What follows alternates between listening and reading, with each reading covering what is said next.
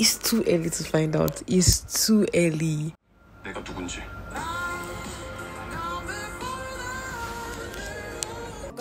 어디 볼까 개점 넘버 Just talk to me 꽃이 폈나 어디 볼까 Don't know You guys, my nights have been unsettled for the past couple of days. Not because of my insomnia, but because I watched the hierarchy. Okay, welcome back to my channel.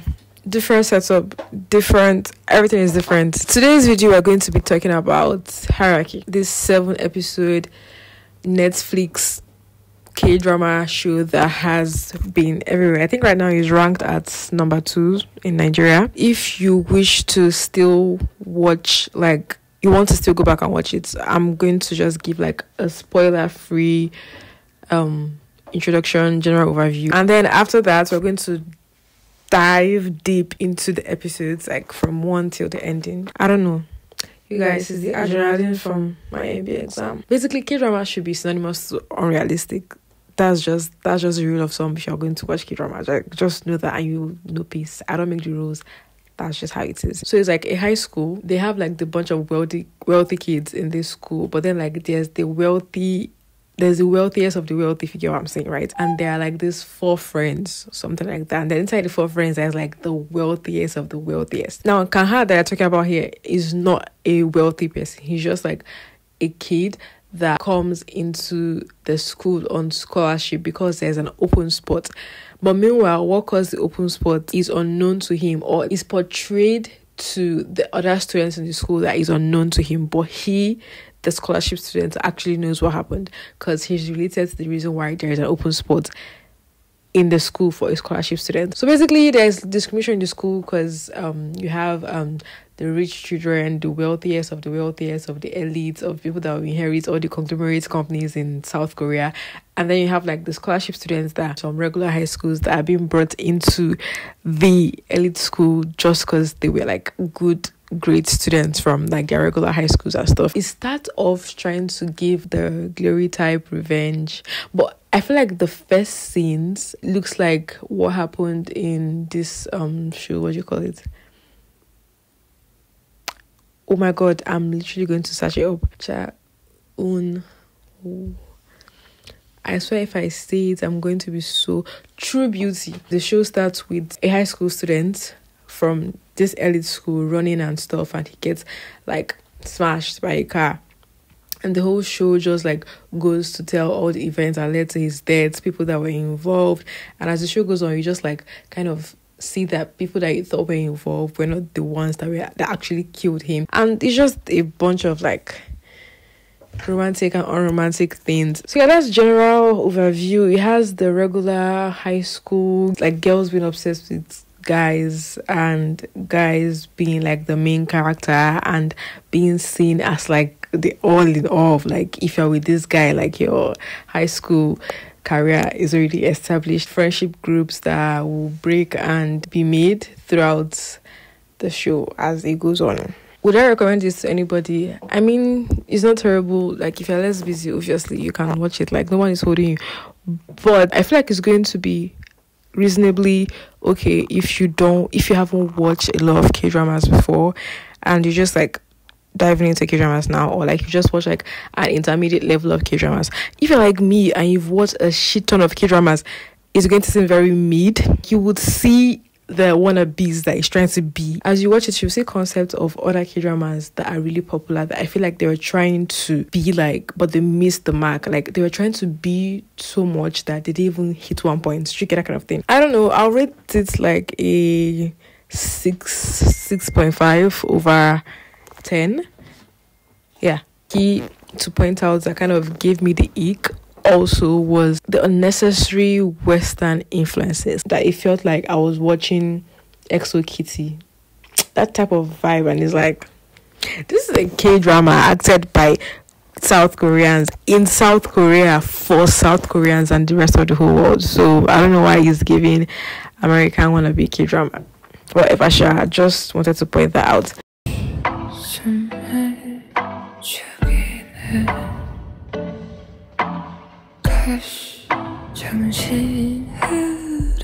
I would like to point out the fact that I think the intro was nice, Sha. Like the intro of the series was nice. Episode one starts with a high school student running from God knows what, and he's calling. He's on the phone, or he tries to get on the phone, and he's calling someone and he's talking, and then he like runs into the road, and he gets run over by a car. That's the kind of like suspense filled intro of first scene that we got. Next up, we have the introduction of the school.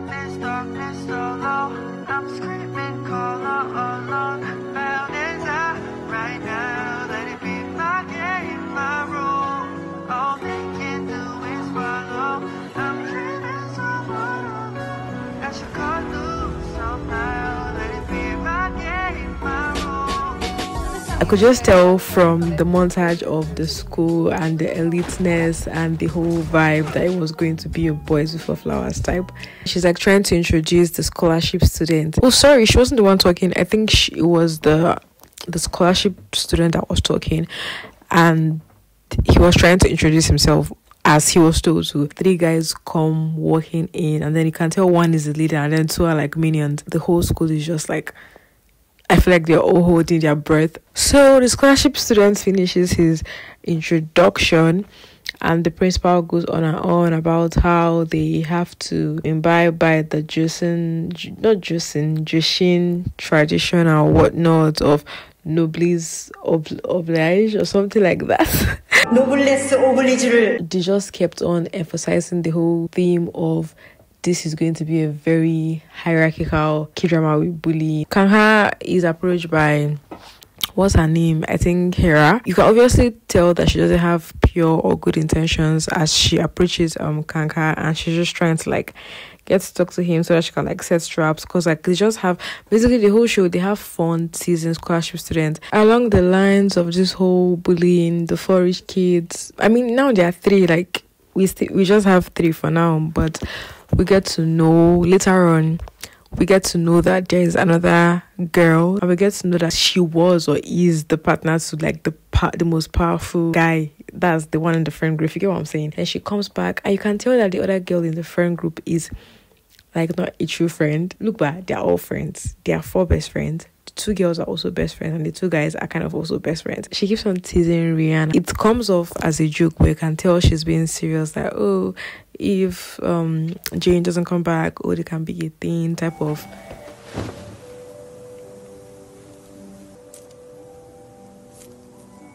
두 사람 계속 냉전 중이면 어떡해. 핑계서 자리를 비운 사이.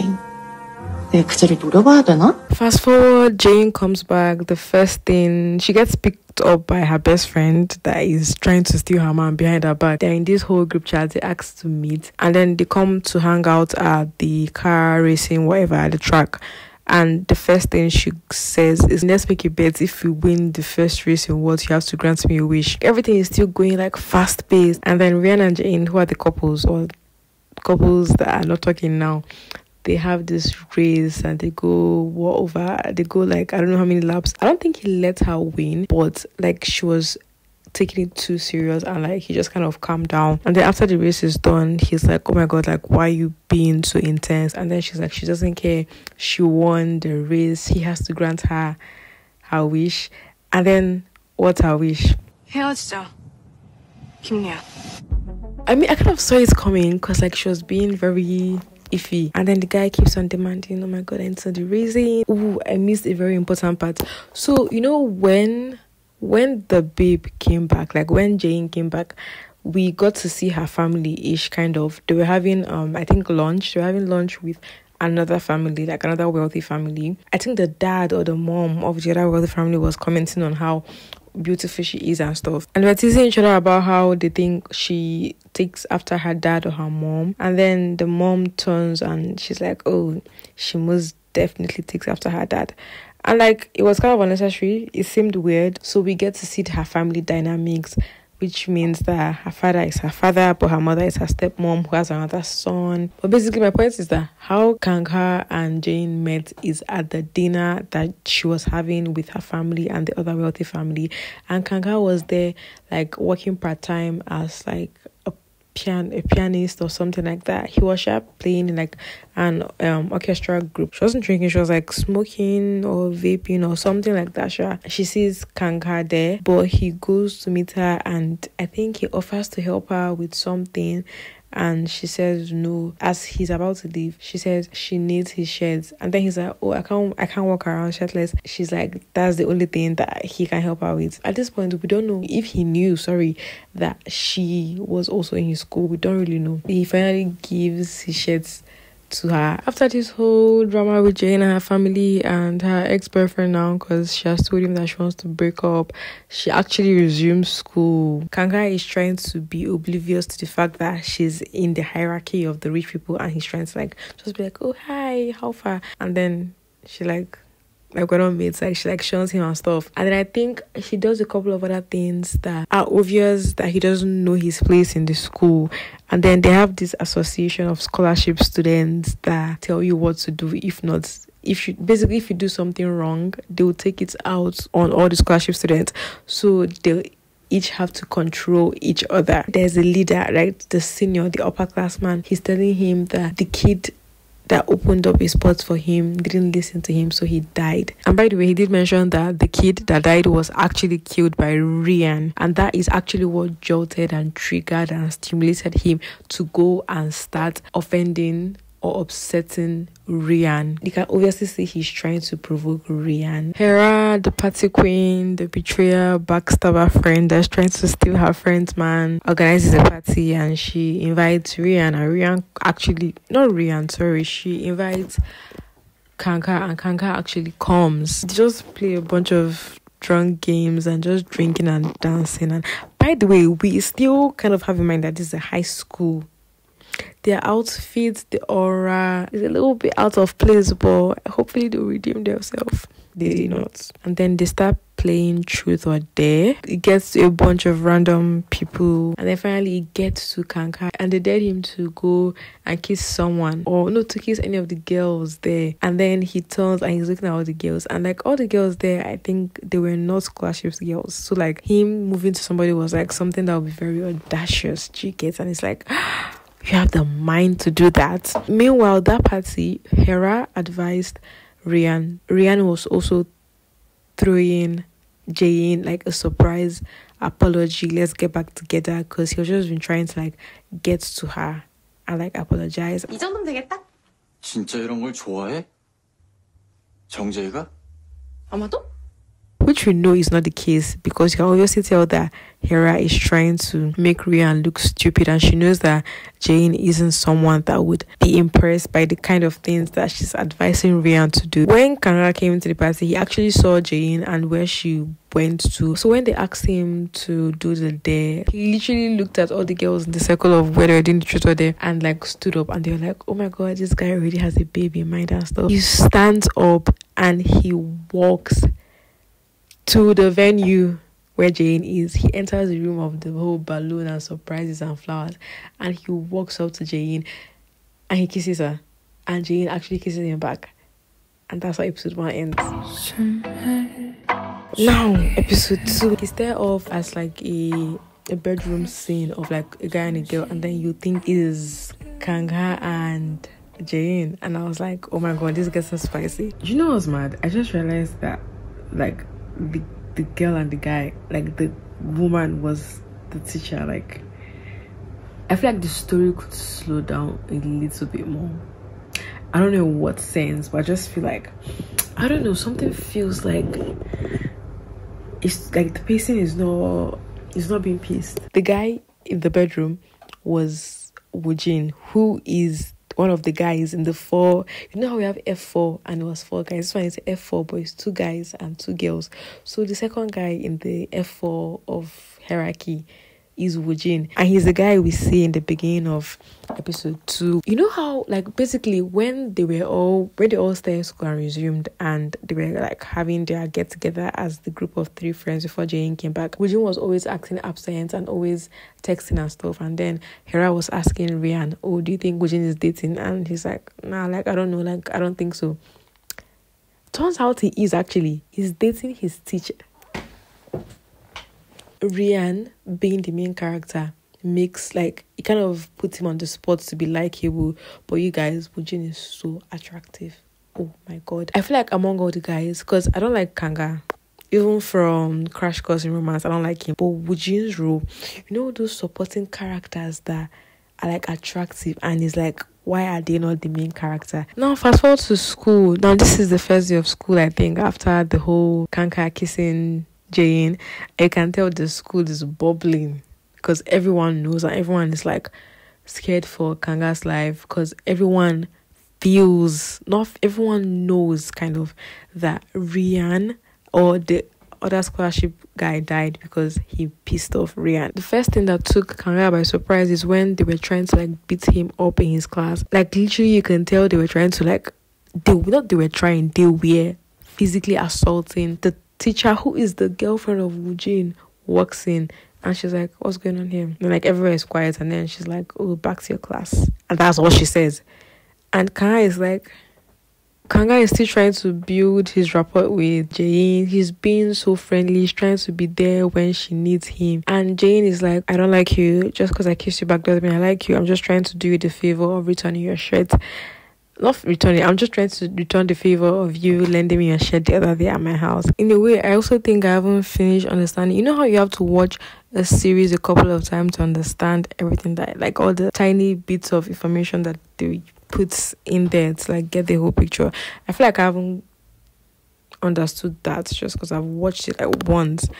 But this review is obviously based off the ones that I watched it, so bear with me. Anyways, Rian is going through his breakup, he's reminiscing past good memory. Woojin and Jane meet up randomly and they both feel like they're hiding something because actually Woojin doesn't tell his friend his friends that he's dating the teacher.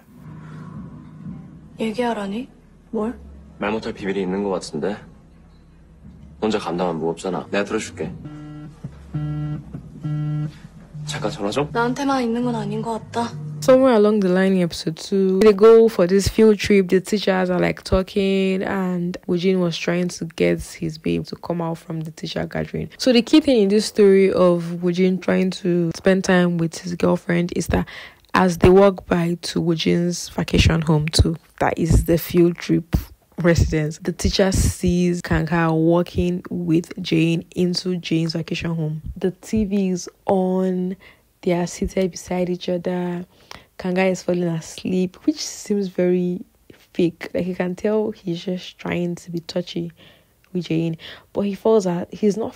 He doesn't fall. He's like dozing off. Now this is a very crucial part, you guys. I remember this scene so much. You people, eh? People are liars. You're telling me that it took how many minutes did it take for the teacher girlfriend to tell her guy, and then the guy called Rian, and then Rian called the principal, and then the principal came with her entourage. You're telling me that it took that much time for this guy to move to Jane. Bro. The principal finally comes and they catch Kanga in Jane's residence and they presume, not presume, because Kang, Rian is the person that called the principal to Jane's residence, they conclude that Kanga broke into Jane's house. Moving on, the field trip ends. Kanga is in front of a panel. They're trying to suspend him or is it expel him. She grabs Kanga. She literally meets Rian at the door. 학내 질서를 바로잡을 강경한 처분을 부탁드리러 가는 길인데 정재희 너 뭐해? 앞으로 강화 건드리지 마. 뭐? 여기 주신이야. 감당할 수 있는 행동만 해. 여기가 주신이든 뭐든 나 정재희야. 김리안. And that's how we know that tension was about to start. Prior to the whole panel of trying to punish Kanga, Hera on her own side was trying to convince Rian, whom she likes, we know now that she likes, she convinces Rian to have a fake relationship with her so that it will make basically she's trying to tell Rian that they're all friends, she's trying to help him that if he fakes a relationship with her, it's going to make Jane jealous and then she would see what she's missing and then she'd come back to him. Anyways, news has now gone around the school that Jane is dating Kanga and now Kanga has become the new prince in the school because the queen is dating him because he can't be the king because Rian is obviously still the king of the school. They start treating him with more respect because now he has the queen on his side. Hera is happy that she's in her relationship, her fake relationship, which we all know is real for her and is a stunt for Rian. Jane is actually quite open about her relationship with Kangha in school, but I feel like Jane is bothered by the fact that there are so many similarities between Kangha and Kang Inha, who is the kid that died.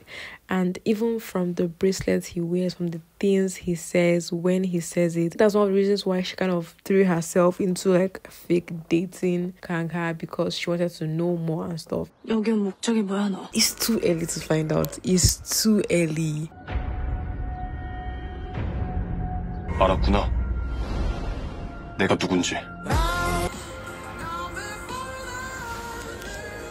as the episode goes, Kanga and Jane go on dates like things, activities, and you all kind of get to know each other a little bit more. And I think the climax of episode three was the parent teacher dance or something. It was like a PTA type thing, but it was this whole because they are wealthy. I don't know. Was like this whole ballroom dance event. It looked like launching of a company, guys. It was so damn serious. It was unnecessary. Rian's grandparents are the contributors and founders of the school that they are in. That's the Joshin school. The reason why Jane is in the school is because there was a rumor about the two companies beefing. That's Rian's family's company and Jane's family's company. So her father sent Jane to come to the school so that it to seem like they are actually not beefing and they are close. Do? So the two companies actually do not like each other. Like they don't involve actually they're enemies because they have different business goals or whatever. So them actually dating, they should not have dated. That's the point. Both parents didn't know they were dating, and it was like it. It was a bomb. It was what's the word, guy? What's the word? The chairman that the father of Jenny wants her to marry his son says something about oh he heard a rumor of Rian and Jane being a couple or something. I don't know. She just chipped it in there, and you can obviously tell by how both parents reacted that they would not want their children to be romantically involved at all. Hera asked Jane to help her dad talk to her own father to help him in his business.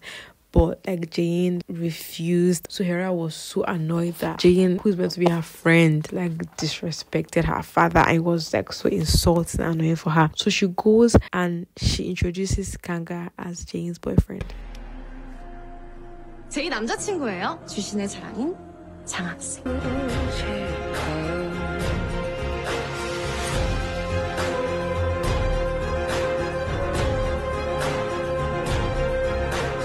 Jane finally meets the son of the man that she's meant to go to New York with. Something reminds her of something. And then she like throws up and faints at the dinner. After the whole dinner stuff with the chairman's family, Jane's father keeps her locked up in a vacation house so that she, from there she just go to New York with the man's son because everything was planned, everything was concluded. And then that episode, Jane confesses something to Kangha. 죽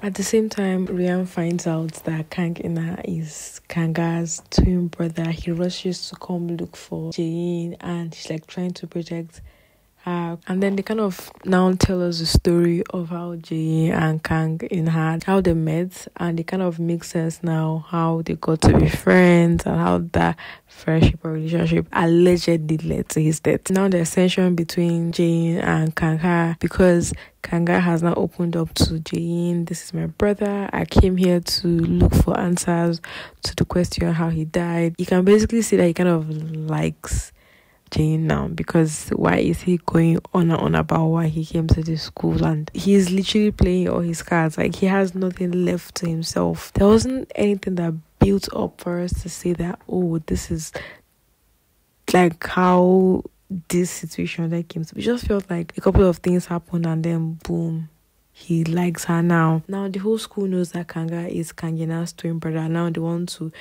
expel him because it's making everyone feel unsettled seeing a dead kid's twin brother in the school and that's their reason. But then Kangina records the conversation and he has an upper hand with the principal because now the principal cannot expel him because he has something on her. For the effect, like the thing that he had on her was just too it was too small. And then meanwhile, all through this whole time, Jane has been getting threats which are related to her secret, which now we know that it's because she was pregnant. They kept on sending her threats because she was never meant to be together with Ryan, which makes sense why she couldn't tell Ryan and why she eloped to the US and why she didn't talk to him throughout the summer and why she wants to break up without an explanation and why she can't tell anybody about it and why she told Kang In-han about it but now Kangina is dead and she feels terrible that she caused Kang In-han's death and she was confiding in Kang In-han and everything kind of just makes sense as to how everybody is involved at this point. It's making sense. I feel like this is where the drama starts to lack stuff. Like it just feels like it's just a bunch of characters acting out their roles, but it doesn't feel like they have purpose. I don't know if you understand what I'm saying. The revenge starts to happen. They have this very awkward, mediocre revenge. Jane is like, oh, she can't let Rian be hurt because if Rian is hurt, then she's hurt because Rian is her stable place, and that's how they've grown up. They didn't just get so mixed up. Human beings are scary.